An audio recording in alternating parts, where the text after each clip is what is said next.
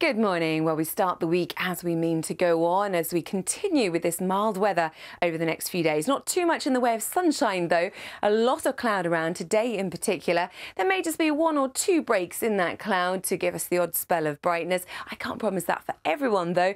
Light winds today, though, and very healthy temperatures for the time of year with highs of 10, possibly 11 degrees Celsius.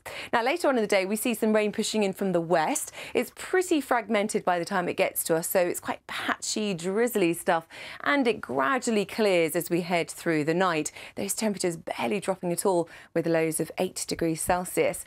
Now, we still see a bit of that drizzle around tomorrow morning, but later on in the day, we have another band of rain pushing through, and that's going to bring much heavier rain. But look at the temperatures towards the end of the week, exceptionally high for the time of year.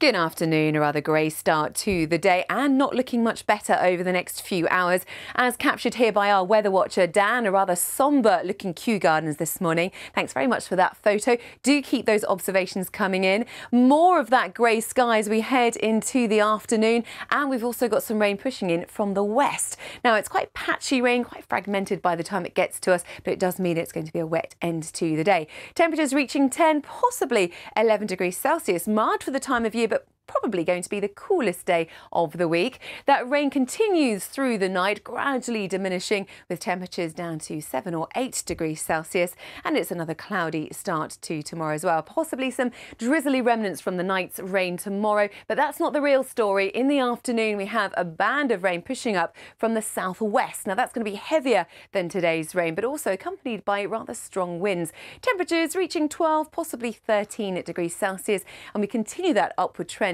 with those temperatures through the week. Now, Wednesday, we've got further rain to clear through the day.